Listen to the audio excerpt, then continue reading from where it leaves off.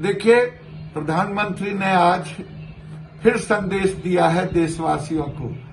तीन मई तक लॉकडाउन को अनुशासित तरीके से माने।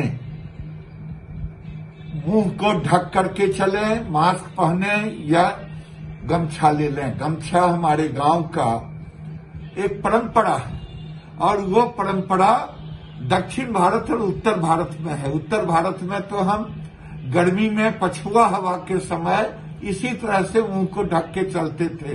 कोई बाँस खरीदने की ज़रूरत नहीं। अपने ही घर के गमछा को आज भी प्रधानमंत्री ने दिखाया है। मैं भी हाथ जोड़ करके निवेदन करता हूँ कि प्रधानमंत्री के इस आग्रह को पूरा करें।